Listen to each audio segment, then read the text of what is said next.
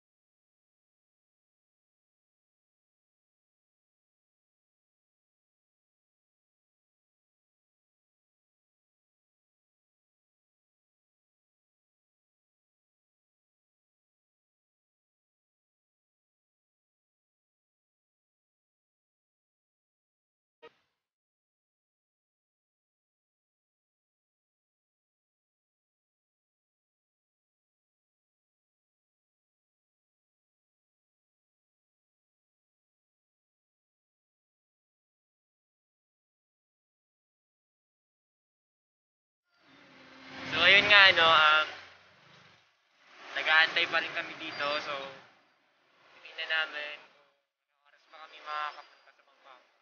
So, ayun nga, traffic nga siya. So, mukhang matatagalan. Tsaka, mainit na rin. Ayun.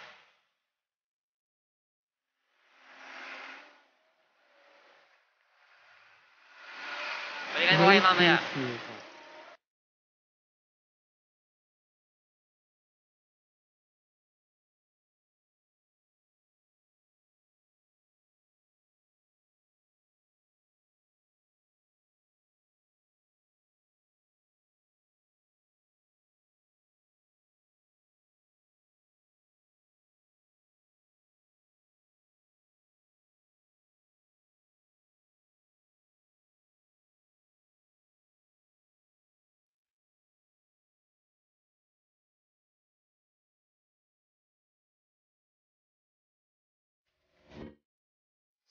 Oras nga kami nag-antay doon sa Mindanao Avenue.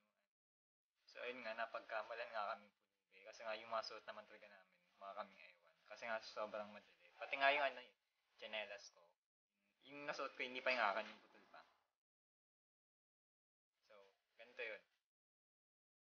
Alam mo, dun, dun sa nangyari na yun, masasabi ko talaga na marami talagang Pilipino na mabait. Kasi, dun sa nangyari, ganito kasi yun. Nag-stay kami dun sa may tindahan. Dun nga kami nag-antay kasi nga inaantay namin yung sasakyan namin papunta dito. May mag-asawang ano din, may-ari ng tindahan. Yung babae, yung lumabas galing siya sa kotse. Kasi sa may tindahan kami naka naka-stop na ni tapos may yung lalaki na asawa niya, ano yun? Hindi namin alam. Na ano, pameriendahan kami. Kasi nga, nakita nila ang dami namin dala. Tapos parang pagod na pagod pa kami nun. Tapos mga kami ano, dugyupin. Biglaan nga, eh, kakagising ko nga lang. May dumadaan. Tapos after namin na, after kami pamerienda, mga halos limang oras kami nag-antay. Tapos, Wave beats music. hindi na rin kami ano, nananghalian ka. Ang bait ng tao, ang babait ng tao dun kasi nandun kami sa Mayon eh, sa tindahan. Yung tindahan tabi nun, junk shop. Tapos, ang babait ng tao dun. Pero halos pinagtitinginan na nga kami kasi ang dami namin dalang ano eh, pati labahin, dala, dala namin kasi at maglalaba kami nun eh. Habang nag-aantay kami, dito ko naman, nag-aayos na siya ng ano. Inaayos niya yung mga naiwan na, na gamit dun sa dati namin Tapos, after namin, after ng ilang oras, kasi nga, tagal na namin. Dun. May, yung may-ari naman ng junk shop, nalok naman kami na, siya na lang daw maghahatid sa amin papunta rito. Alam mo yun, yung kahit na, yung bagay, ang laking tulong yun kasi, hindi nila kami kilala, tapos, ganun, ganun, ganun sila magtumulong sa amin. Una pinakain kami tapos pinamerienda muna pala tapos pangalawa pinakain kami ng tanghalian kasi ang init pa naman doon tapos binigyan pa kami ng upuan tapos pinaano pa kami alam mo yun yung ang bait talaga nila kaya saludo ako sa nila nag-ano sa amin kasi kahit hindi nila kami kilala Then, pati yung may-ari ng junk shop na babae So, ayun. Masasabi ko lang ano. Likas talaga sa ating mga Pilipino. Hindi lang sa Pilipino. Sa mga tao yung pagiging mabait. Alam mo yun, Wave beats music. sa gitna ng pandemya, di nila inano na ano. Ay baka ano yan. Nais pa nilang ano. Kung nais. Ang, la- ang ano. Ano, gusto pa nilang tumulong, di ba? So, ayun na nga, pag after ng ilang oras, dumating na rin yung sasakyan namin. So, yung sasakyan pala namin, ano yun? Truck yun kasi, ano yun? Inaano ng relatives namin. Kasi yun yung ano, tawag dun, available na sasakyan namin. Sumakay nga kami ng truck. After ng ilang oras na yung pag-aantay. Pagkababa namin, ano, beats music. ayun na nga, kamalas-malasan ng umulan pa, kaya nagpaano muna kami. Nagpahinto ng galing, na, galing kami sa sa Pagbaba namin, umulan pa. Diba, ang mala, sobra. Tapos, ang dami pa namin dala. Tapos, ayun nga, tumi tumila yung ulan, ano na, magagabi na. Kaya nakarating kami dito. So, ayun lang. Yun lang yung content ko ngayon. Wala akong content eh. So, onti lang talaga yung nakunan ko na video na ano, dun sa pag-alis namin. So, sana nagustuhan yung video na to. And kung nagustuhan mo nga ang video na to, don't forget to like, comment, and share. At syempre, mag-subscribe na din. At i-click ang notification bell para lagi kang updated sa mga bagong videos na ilalabas ko. Once again, I'm Carl. This is Carl Gonzalez Vlog.